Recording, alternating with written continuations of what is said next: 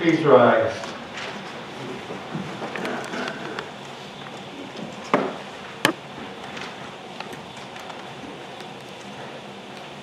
The Lord be with you. We pray together the prayer of the day for Good Friday. This is on the front of your celebrate.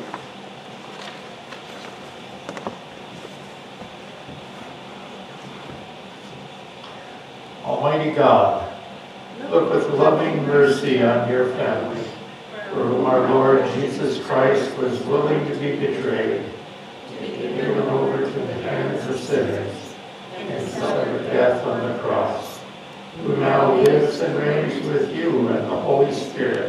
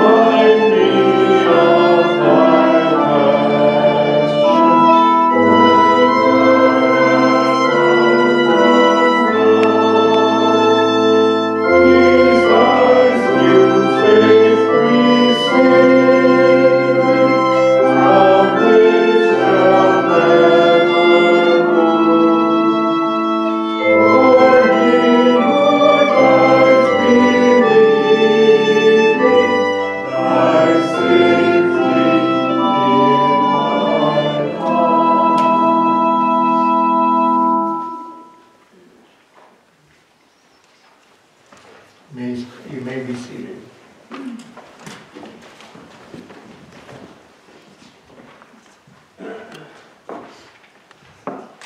Our first reading from the 52nd and 53rd chapters of the book of the prophet Isaiah.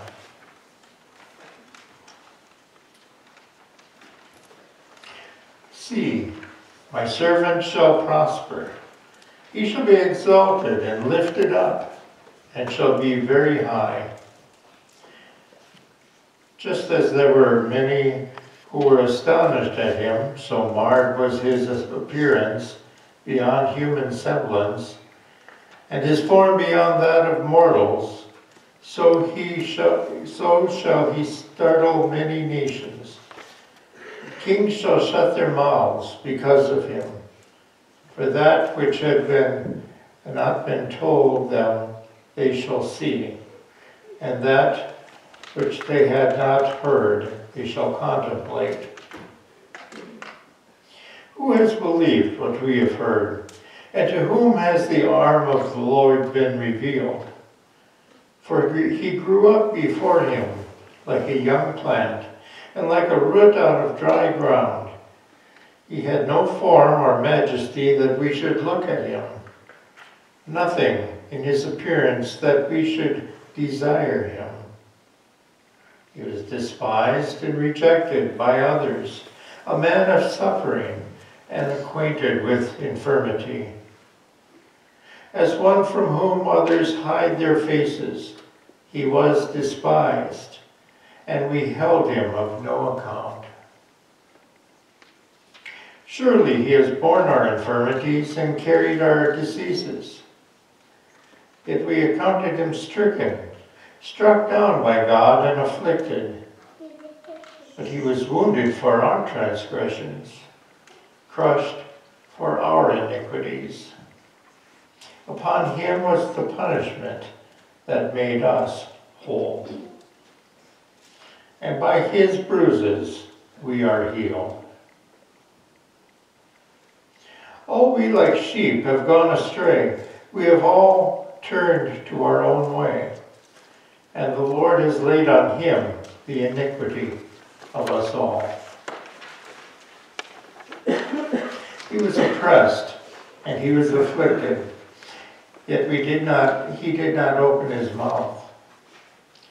Like a lamb that is led to the slaughter, and like a sheep that before its shearers is silent, so he did not open his mouth. By a perversion of justice, he was taken away. Who could have imagined his future? For he was cut off from the land of the living, stricken for the transgression of my people. He made his grave with the wicked, and his tomb with the rich. Although he had done no, no violence, and there was no deceit in his mouth. Yet it was the will of the Lord to crush him with pain. When you make his life an offering for sin, he shall see his offspring and shall prolong his days. Through him the will of the Lord shall prosper. Out of his anguish he shall see light. He shall find satisfaction through his knowledge. The righteous one, my servant, shall make many righteous, and he shall hear their bear their iniquities. Therefore I will allot him a portion with the great, and he will divide his spoil with the strong, because he poured out himself to death, and was numbered with the transgressors. Yet he bore the sin of many, and made intercession for the transgressors. This is the word of God, word of God, word of life. Thanks be to God. You'll find Psalm 22 on pages 24 and 25, uh, 224 and 225 of the uh, Lutheran Book of Worship, the Green Book. Let us read this responsibly by the, uh, know, by the half verse, I guess. When we come to an asterisk, we change places. My God, my God, why have you forsaken me? And art so and are so far from my cry and the words of my distress. O oh, my God, I cry in the daytime, but you do not answer. By night as well, but I find no rest. Yet you are the Holy One. Enthroned among the praises of Israel. Our forefathers put their trust in you. They trusted and you delivered them. They cried out to you and were dis- delivered. They trusted in you and were not put to shame. But as for me, I am a worm and no man. Scorned by all and despised by the people. All who see me laugh me to scorn. They curl their lips and wag their heads, saying, He trusted in the Lord, let him deliver him. Let him rescue him if he delights in him. And you are he who took me out of the womb. And kept me safe upon my mother's breast. I have been entrusted to you ever since I was born. You were my God when I was still in my mother's womb. Be not far from me, for trouble is near. There is none to help. Many young bulls encircle me. Strong bulls should surround me. They open wide their jaws at me. Like a ravaging and roaring lion. I am poured out like water. All my bones are out of joint. My heart within my breast is melting wax. My mouth is dried out like a potsherd. My tongue sticks to the roof of my mouth. And you have laid me in the dust of the grave. Packs of dogs close me in. The gangs of evildoers circle around me. They pierce my hands and my feet. I can count all my bones. They stare and gloat over me. They divide my garments among them. They cast lots for my clothing.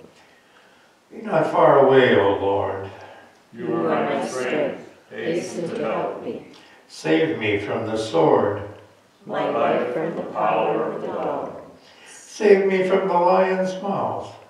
My wretched body from the horns of of wild wild bulls. bulls. I will declare your name to my brethren. In the midst of the congregation, I will praise you. Praise the Lord, you that fear him. Stand in awe of him, O offspring of Israel. All you of Jacob's line, give glory. For he does not despise nor abhor the poor in their poverty, neither does he hide his face from them.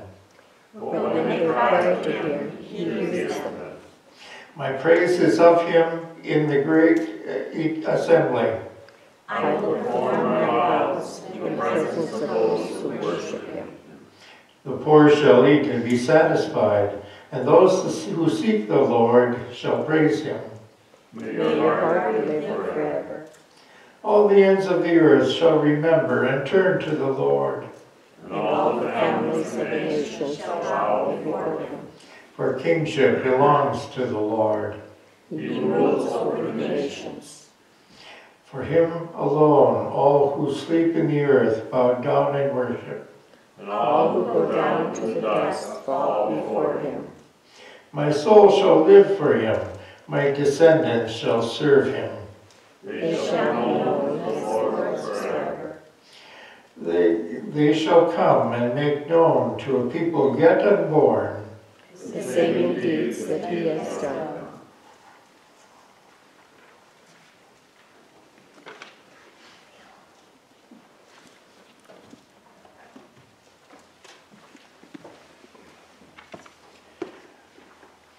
The second reading is from the 10th chapter of the letter to the Hebrews, beginning with the 16th verse.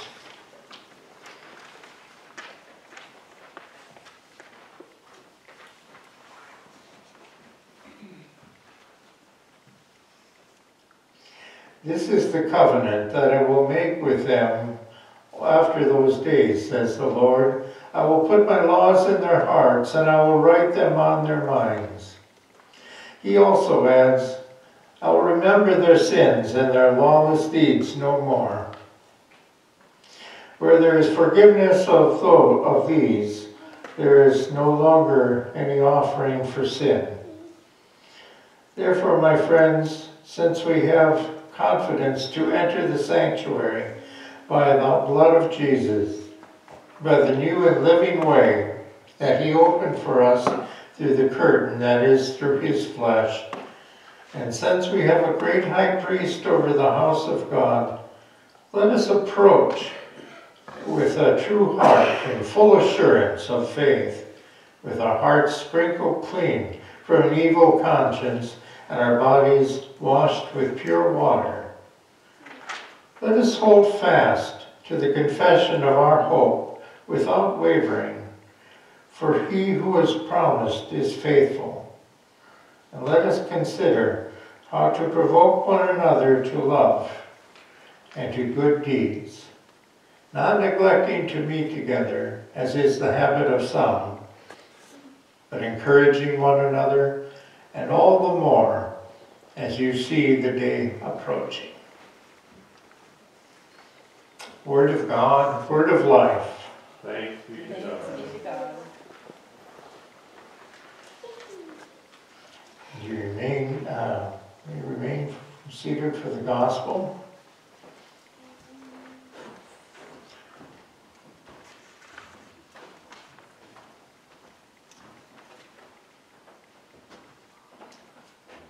This is because it is rather lengthy this evening.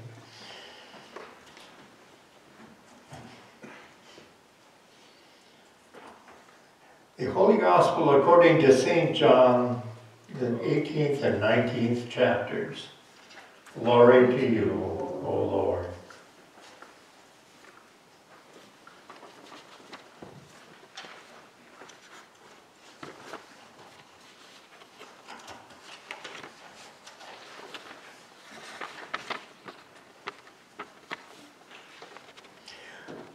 All these events begin right after the Last Supper Jesus has with his disciples and the conversation they have at table.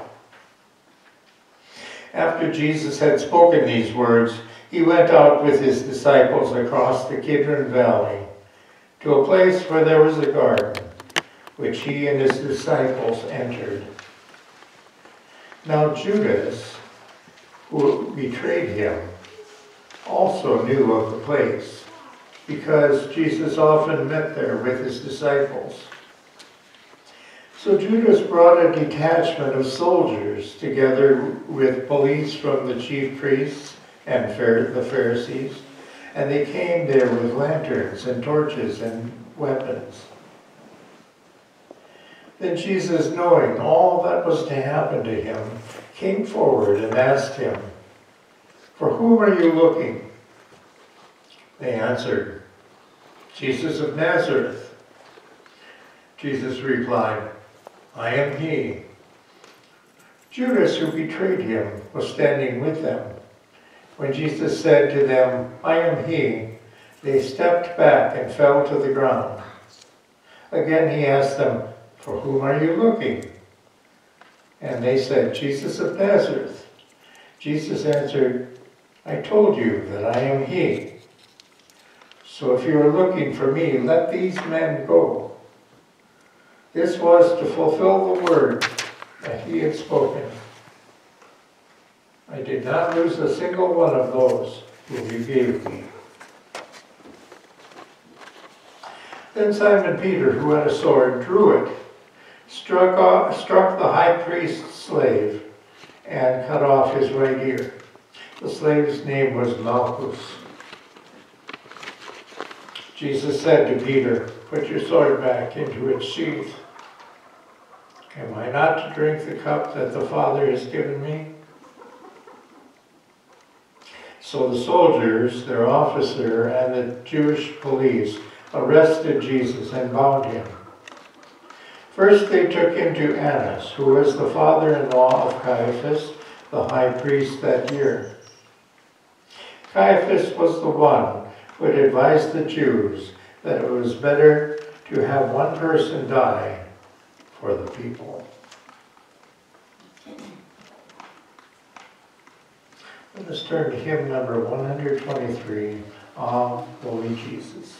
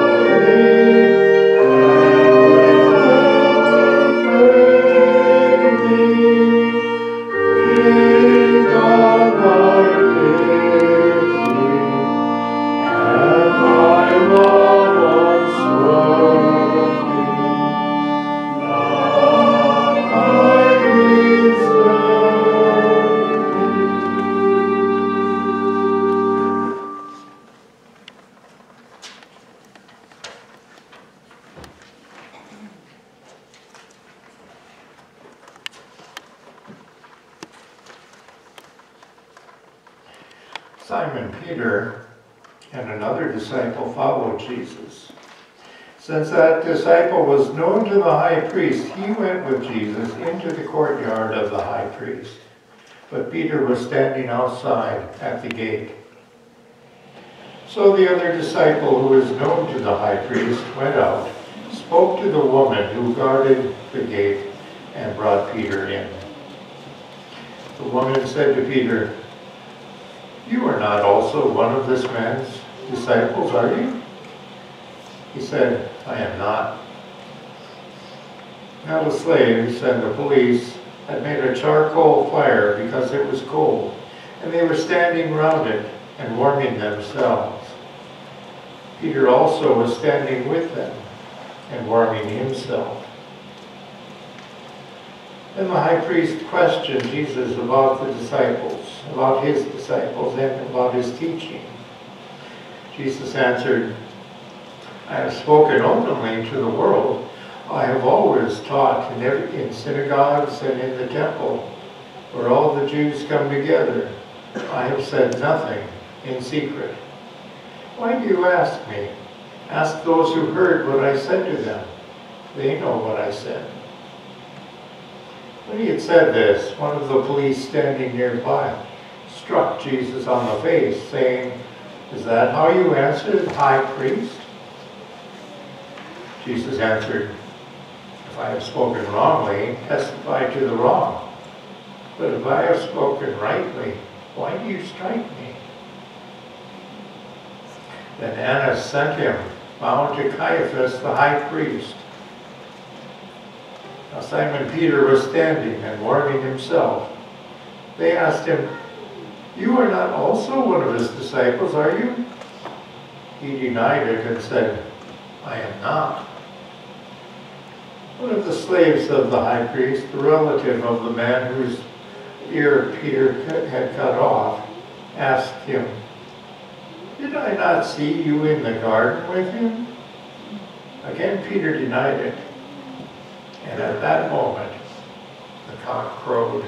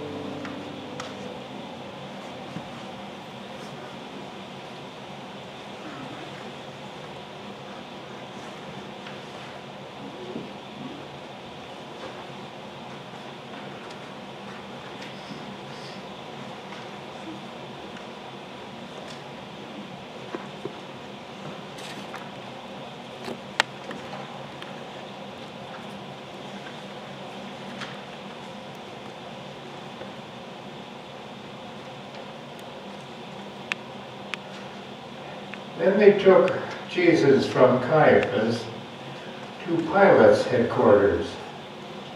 It was early in the morning. They themselves did not enter the headquarters so as to avoid ritual defilement and was and to be able to eat the Passover. So Pilate went out to them and said, What accusation do you bring against this man? Answered, If this man were not a criminal, we would not have handed him over to you. Pilate said to them, Take him yourselves and judge him according to your law. The Jews replied, We are not permitted to put anyone to death. This was to fulfill what Jesus had said when he had indicated the kind of death he was to die. Then Pilate entered the headquarters again, summoned Jesus, and asked him, Are you the king of the Jews? Jesus answered, You ask this on your own, or did others tell you about me? Pilate replied, I'm not a Jew, am I? Your own nation and the chief priests have handed you over to me. What have you done? Jesus answered, My kingdom is not from this world. If my kingdom were from this world, my followers would be fighting to keep you from to keep me from being handed over to the Jews. But as it is, my kingdom is not from here. Pilate asked him, So you are a king? Jesus answered, You say that I am a king. For this I was born, and for this I came into the world, to testify to the truth. Everyone who belongs to the truth listens to my voice. Pilate asked him, What is truth? After he had said this, he went out to the Jews again and told them, I find no case against him. But you have a custom where I went that I release someone for you at the Passover. You want me to release for you the king of the Jews? He shouted in reply, Not this man, but Barabbas. Now Barabbas was a bandit. And Pilate took Jesus and had him flogged. And the soldiers wove a crown of thorns and put it on his head. And they dressed him in a purple robe. They kept coming up to him saying, Hail, King of the Jews, and striking him on the face. Pilate went out again and said to them, Look, I am bringing him out to you to let you know that I find no case against him. So Jesus came out, wearing the crown of thorns and the purple robe. Pilate said to them, Here is the man.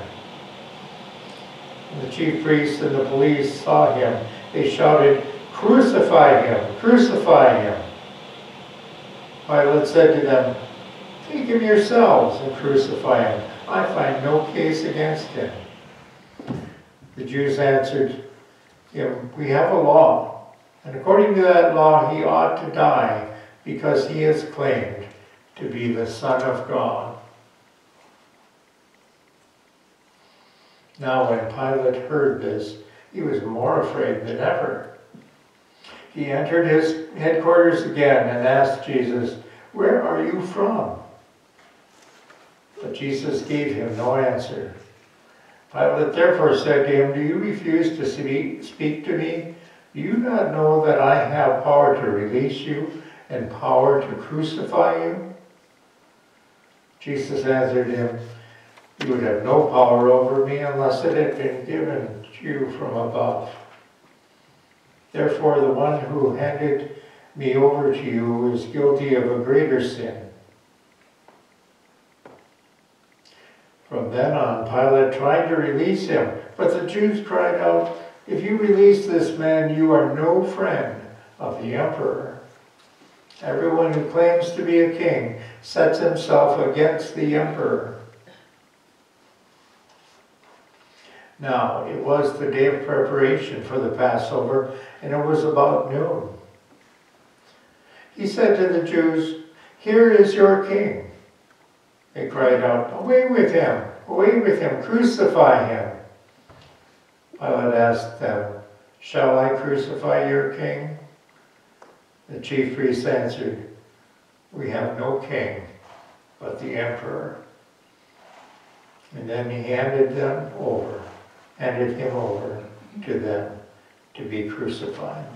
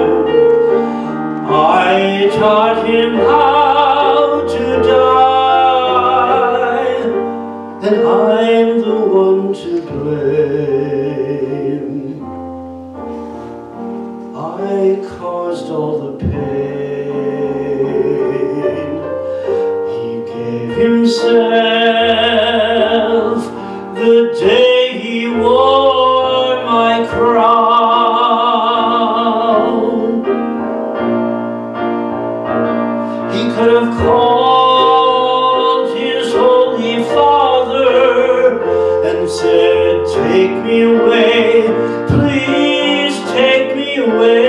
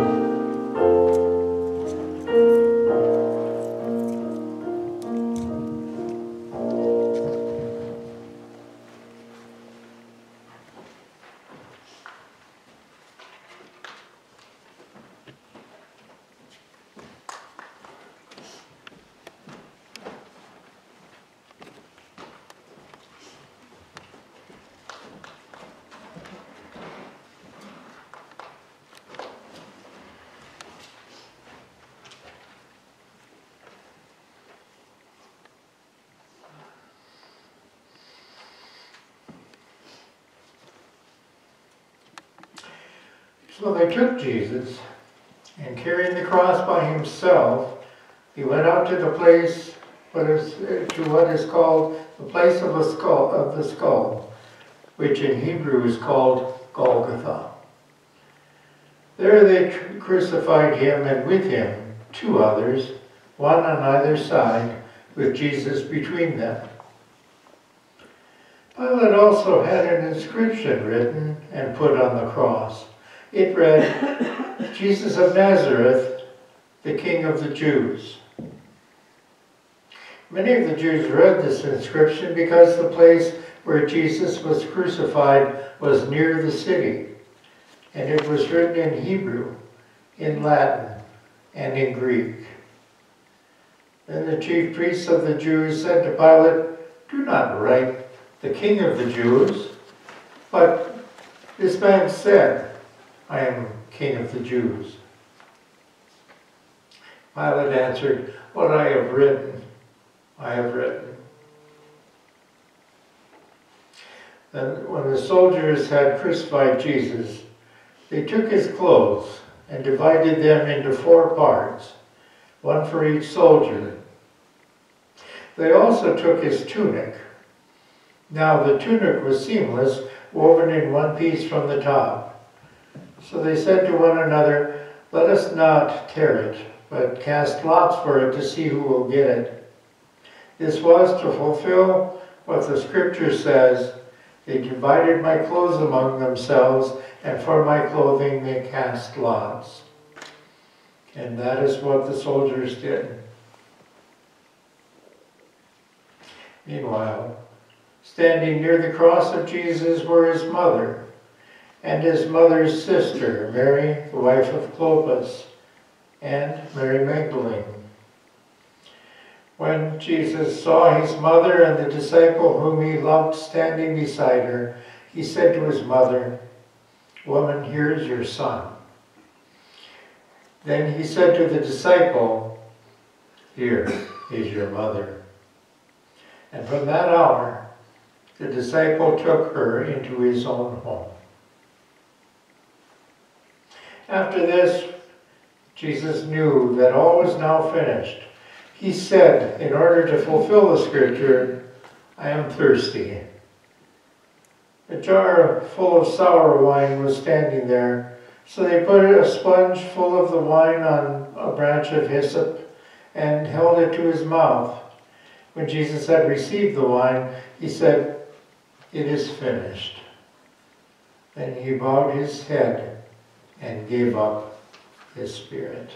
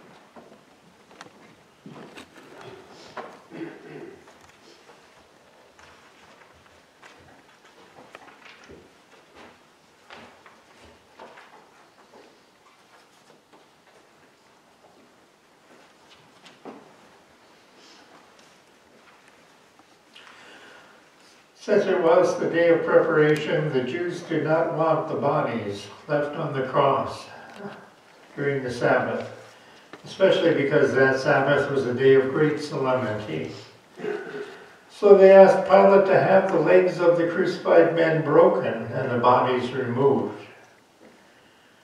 Then the soldiers came and broke the legs of the first and of the other who had been crucified with him. But when they came to Jesus and saw that he was already dead, they did not break his legs. Instead, one of the soldiers pierced his side with a spear, and at once blood and water came out. He who saw this has testified so that you also may believe. His testimony is true, and he knows that he tells the truth. These things occurred so that the scripture might be fulfilled. None of his bones shall be broken. And again, another passage of scripture says, They will look on him whom they have pierced. After these things, Joseph of Arimathea, who was a disciple of Jesus, but a secret one because of his fear of the Jews, asked Pilate to let him take away the body of Jesus. Pilate gave him permission, so he came and removed the body, his body. Nicodemus, who had come first come to Jesus by night, also came, bringing a mixture of myrrh and aloes, weighing about a hundred pounds. They took the body of Jesus and wrapped it with the spices in linen cloths, according to the burial custom of the Jews. And there was a garden in the place where he was crucified, and in the garden there was a new tomb in which no one had ever been laid. And so, because it was the Jewish day of preparation, and the tomb was nearby, they laid Jesus there. This is the gospel of our Lord. Praise to you, O Christ.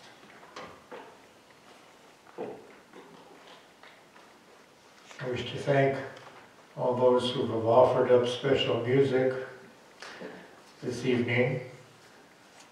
And if you've listened carefully, closely to the words, they provide an excellent commentary on the story we have just heard. To that, I simply want to add that I've always been struck by the Passion story in the Gospels, especially the Gospel according to St. John. Jesus, the author and giver of life, is now playing the part of really the director, the director of his own end. Very calm, assured, in control. Although events are beyond his control after fashion, you can't, after all, predict, although you can if you're the Almighty, probably uh, know with some certainty what people are going to say and think and do. You can't always predict necessarily what they will do exactly. But whatever they did, Jesus responded. And he responded sometimes with silence, sometimes with short answers, sometimes with questions, but also with a certainty, a notion of, of a composure that lets you know he had a plan, that he was following what was laid, laid out for him, and he was following that obediently and with assurance. Nothing the people would say, their screams, their shouts, their derision, their mocking, would deter him from his destiny, from what he was supposed to do, from his love for us. Even watching soldiers, while watching soldiers dividing his last worldly possessions, the clothes from his back, and gambling for them even. Jesus had time and understanding and sensitivity to care for those closest to him, providing a place for his mother to live with his favorite disciple.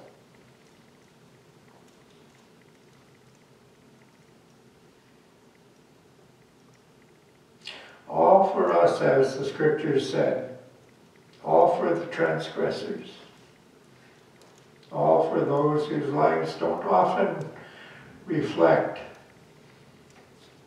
a, a, a deserving or a uh, notion that um, sometimes we even wish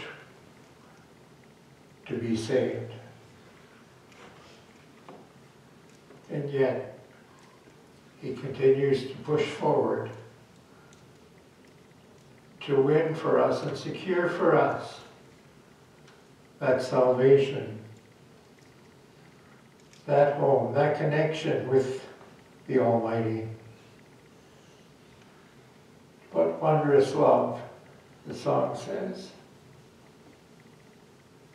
What wondrous love indeed.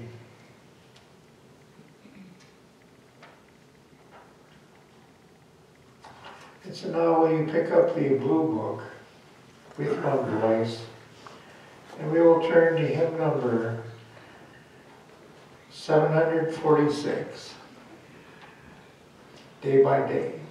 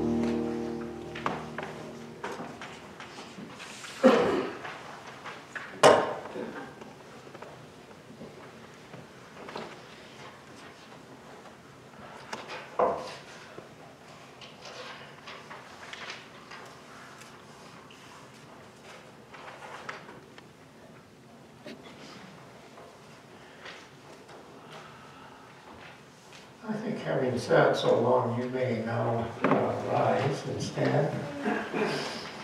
We find the bidding prayers on the third page of the Celebrate folder. As you are instructed in the bulletin, after each bid, where it says silent prayer, we pause.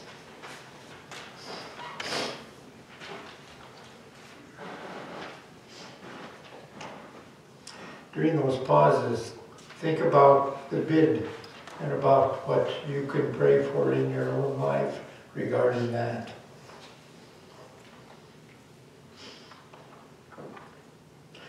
Let us pray, brothers and sisters, for the Holy Church throughout the world.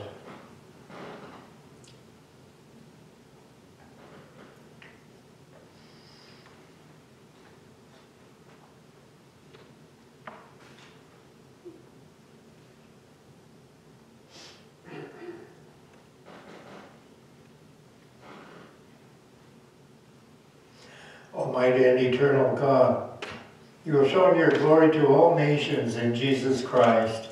By your Holy Spirit, guide the church and gather it throughout the world. Help it to persevere in faith, proclaim your name, and bring the good news of salvation in Christ to all people. We ask this through Christ our Lord. Amen. Let us pray for um,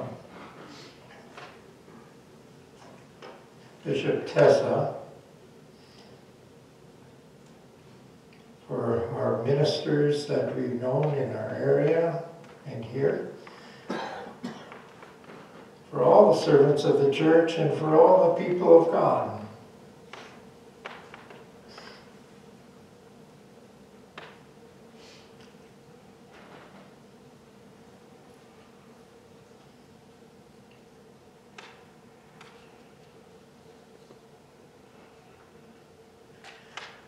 Almighty and eternal God, your Spirit guide the church and makes it holy. Strengthen and uphold our bishops, pastors, and other ministers and lay leaders. Keep them in health and safety for the good of the church, and help each of us in our various vocations to do faithfully the work to which you have called us. We ask this through Christ our Lord. Amen.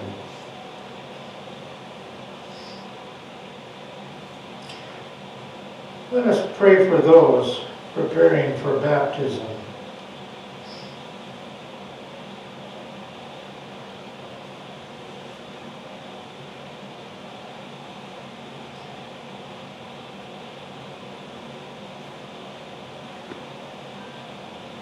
Almighty and eternal God, you continue to bless the church.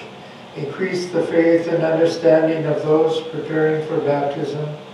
Give them new birth as, your children, and keep them in the faith and communicate, communion of your holy church. We ask this through Christ our Lord. Amen.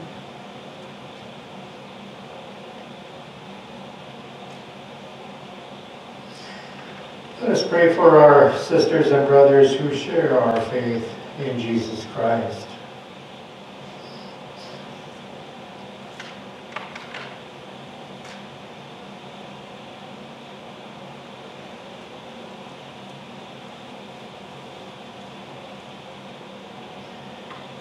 Almighty and eternal God, you give your church unity. Look with favor on all who follow Jesus, your Son. Make all the baptized one in the fullness of faith, and keep us united in the fellowship of love. We ask this through Christ our Lord. Amen.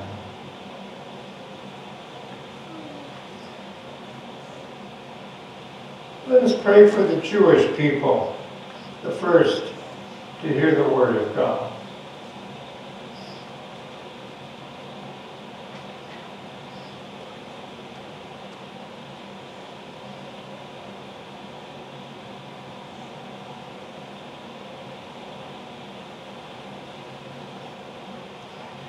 Almighty and eternal God, Long ago, you gave your promise to Abraham and your teaching to Moses. Hear our prayers that the people you called and elected as your own may receive the fulfillment of the covenant's promises. We ask this through Christ our Lord. Amen.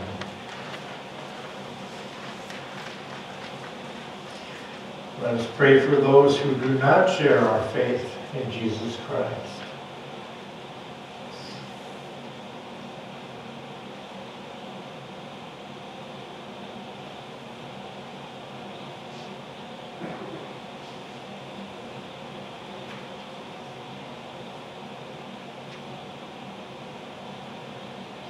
Almighty and eternal God, gather into your embrace all those who call out to you under different names. Bring an end to interreligious strife and make us more faithful witnesses of the love made known to us in your Son. We ask this through Christ our Lord. Amen. Let us pray for those who do not believe in God.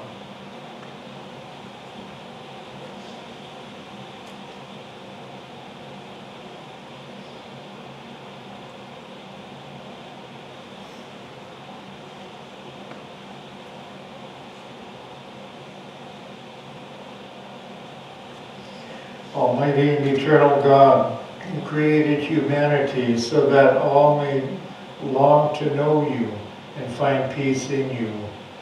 Grant that all may recognize the signs of your love and grace in the world and in the lives of Christians, and gladly acknowledge you as the one true God. We ask this through Christ our Lord.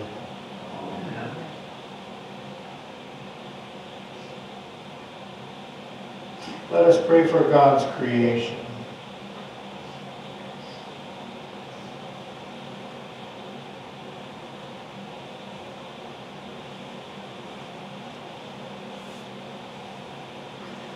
Almighty and eternal God, you are the creator of a magnificent universe. Hold all the worlds in the arms of your care and bring all things to fulfillment in you. We ask this through Christ our Lord. Let us pray for those who serve in public office.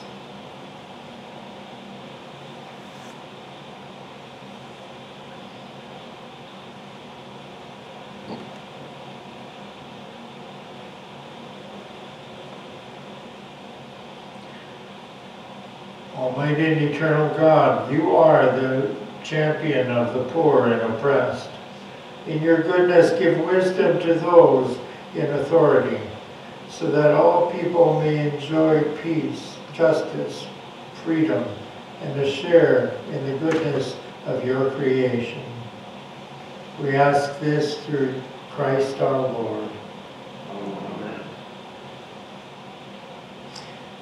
Let us pray for those in need.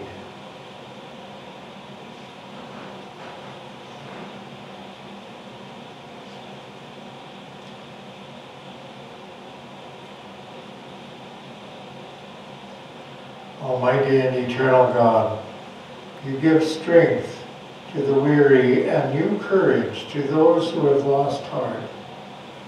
Heal the sick, comfort the dying, give safety to travelers, free those unjustly deprived of liberty, and deliver your world from falsehood, hunger, and disease. Hear the prayers of all who call on you in any trouble, that they may have the joy of receiving your help in their need. We ask this through Christ our Lord. Amen. Finally, let us pray for all these things for which our Lord would have us ask. Our Father, who art in heaven, hallowed be thy name. Thy kingdom come, thy will be done, on earth as it is in heaven. Give us this day our daily bread, and forgive us our trespasses, as we forgive those who trespass against us. And lead us not into temptation, but deliver us from evil. For thine is the kingdom, and the power, and the glory,